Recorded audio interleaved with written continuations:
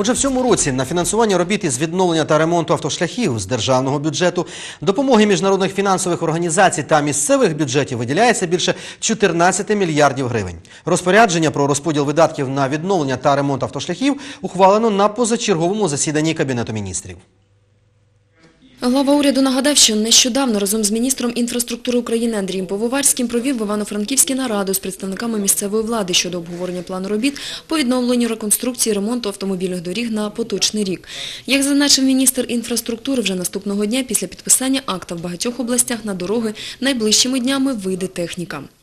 Тобто прийняття цієї постанови означає, що ми вже запускаємо процес ремонту доріг і виганяємо техніку на дороги і починаємо працювати. Я прошу секретаріат Кабміна оперативно внести правки, які щойно е, міністр інфраструктури зазначив, щоб ми сьогодні цю постанову вже випустили. Під час засідання уряду Андрій Пововарський також повідомив, що міністерство зараз працює над формуванням акта, який передбачатиме незалежний контроль якості ремонту автошляхів. Тим часом Миколаївщина на ремонт дороги державного значення Н-11 замість обіцяних раніше 324 мільйонів гривень отримала лише 100. Цього вистачить на ремонт 10 кілометрів автомагістралі.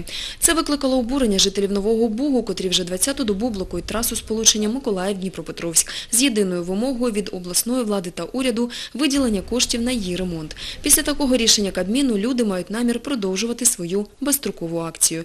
Порадившись з усіма людьми, з простими людьми, простими громадянами України, ми вирішили, що будемо стояти на блокпостах до тих пір, поки не ба- побачимо конкретних дій від влади по ремонту цієї дороги. Тим часом на трасі державного значення Н-11 Миколаїв-Дніпропетровськ від села Новополтавка до міста Новий Буг розпочалося профілювання дорожнього покриття. Відповідна інформація із фото з'явилась на сайті Миколаївської облдержадміністрації. Там же повідомляється, що служба автодоріг Миколаївській області залучила техніку підрядних організацій. Крім того, заплановано подібні роботи провести і на проблемних ділянках траси Н-14 Миколаїв-Кіровоград. Якщо будуть дозволяти погодні умови, то найближчим часом ремонтні роботи розпочнуться в Снігурівському напрямку. Наталія Якобсон, телевізійні новини Миколаївщини.